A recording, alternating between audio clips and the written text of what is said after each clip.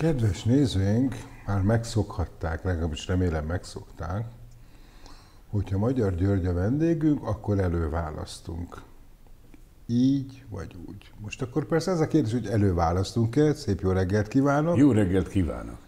Már csak azért is, mert én kérdeztem két ellenzéki politikust a köztársasági elnök választással kapcsolatban, és mind a ketten mondták azt, hogy hát igen, igen, forognak nevek, de azt szeretnék a pártok, hogyha legyen, lenne egy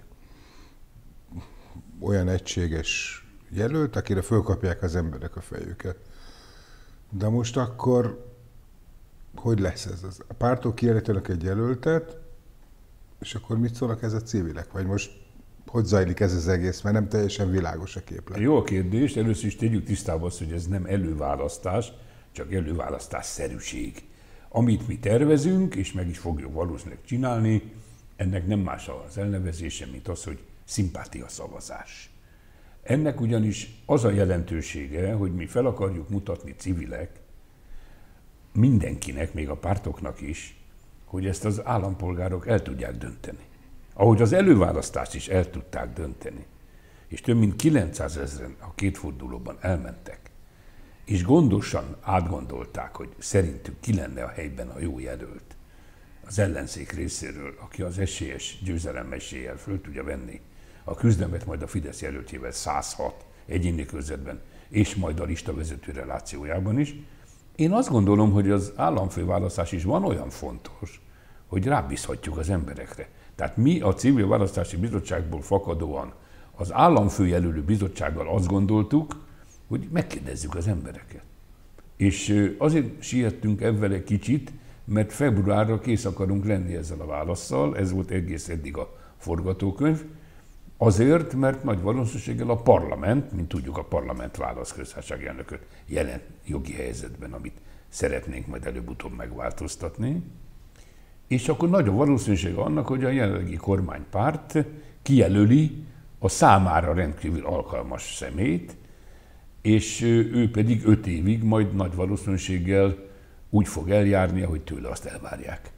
Mi pedig úgy gondoltuk, hogy egy alternatív köztársasági elnököt már most fel kell mutatni, hogy mire eljön ez a választás, addig legyen egy ilyen másik jelölés, egy olyan alkalmas személy, amiről a párt személyek is beszélgetnek, aki konszenzusos, és mindenki fölkapja a fejét, olyan tisztességes, értékes életműve van, amiből fakadóan a nemzet egységét meg tudja majd jeleníteni. Ugyanis Világos. az alkotmány azt mondja, hogy ne egy párt mondja meg, hogy ki az alkalmas nemzetegység teremtésére, hanem legyen olyan személy, ma még a parlament által választottan, tehát ehhez alternatívát kell mutatni. Mi erre készültünk civilek, majd amikor azt az érvet hallottuk, hogy a pártok most nagyon el vannak foglalva, és nem érnek rá ezzel a kérdéssel foglalkozni, akkor mi azt választottuk, nem is kell. Mert mi ezt megcsináljuk. Mert mi ezt megcsináljuk. Utána azt mondták, hogy el fogja venni a fényt és a figyelmet az, az áprilisi választásokról.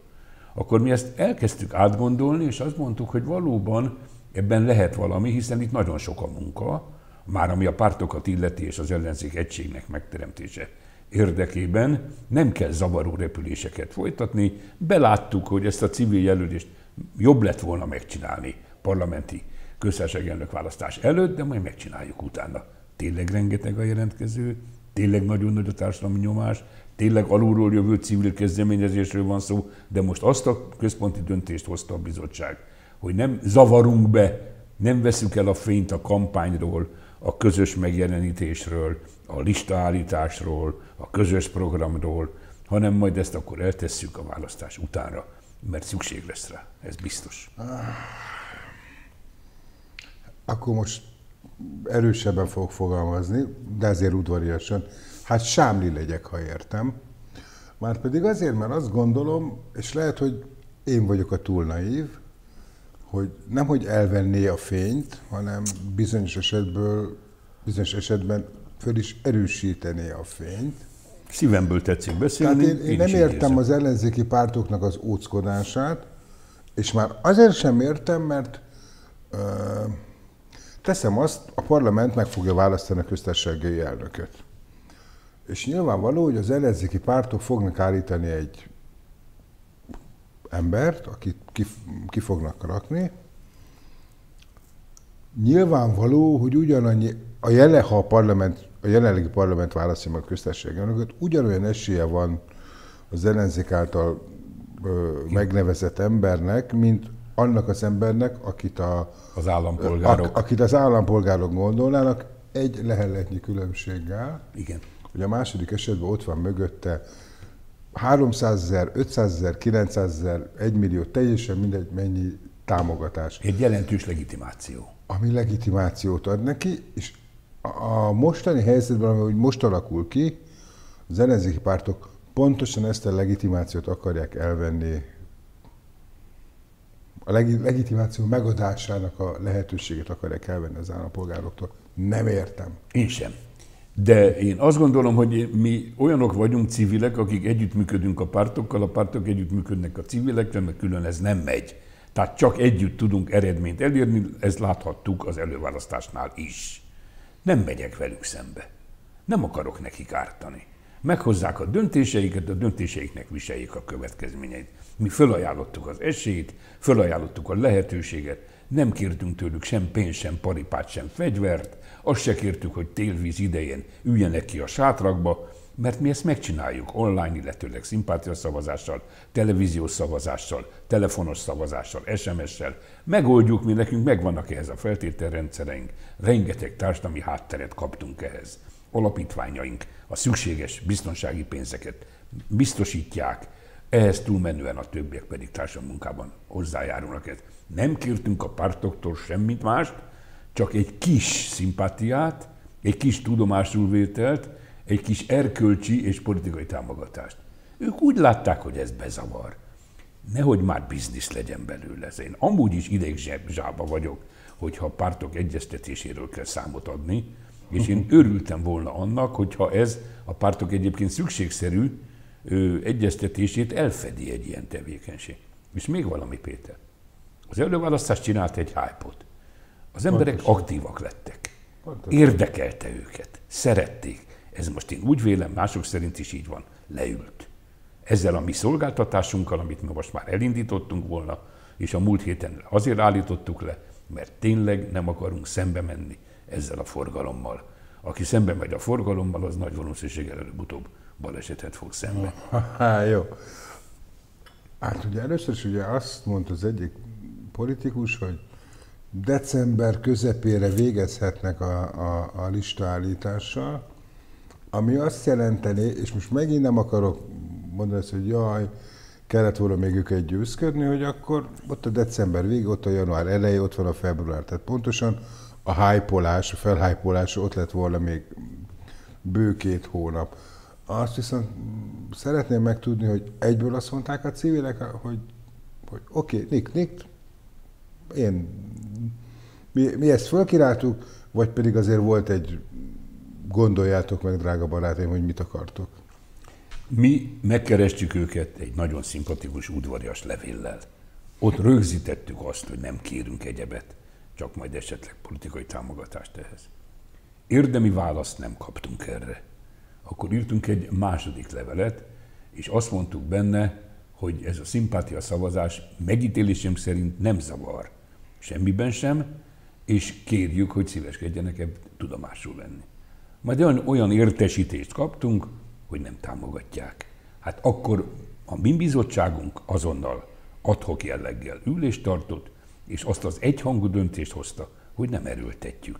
Megcsináljuk majd mi ezt áprilisban, a választást követően, akkor is föl tudunk állítani olyan szimpatikus személyiséget, aki alkalmas lehet arra, hogy e alternatívája is talán tényleg nemzetegység megteremtő képessége legyen, szemben a 133 hős által kiválasztott, vagy megválasztott köztársaság elnökkel.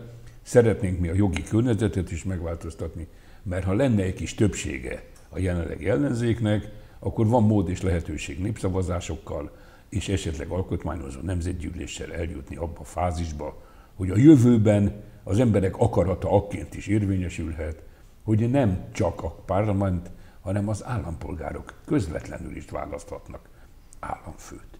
És ha ez egyszer bekövetkezne, akkor legyen ott az a személy, aki erre alkalmasnak tűnik a jelen időszakban, és ne akkor kelljen kérem szépen castingolni, mert már láttuk a castingolásnak milyen jó következményei lettek, és mi azt gondoltuk, hogy aki kicsit, már nekem nagy az orrom, de előrébb látta az orránál, az jól tudja, hogy ez előbb-utóbb erre igény és szükség lesz. Nem örülnénk mi civilek annak, a kérdésedre itt a válasz, hogyha megint füstös szobákban jelölnék ki Piti Palkót, és mondják azt, hogy szerintük a néhány ellenzéki párt megfelelő képviselő is szerint. Ő a nemzetettség megteremtője. Mi úgy gondoljuk, hogy az állampolgárok ezt jobban látják. Mi akartunk egy 20-30 fős listát föltenni, akiket jelölnek, akik megkapják az állampolgárok előzetes támogatását.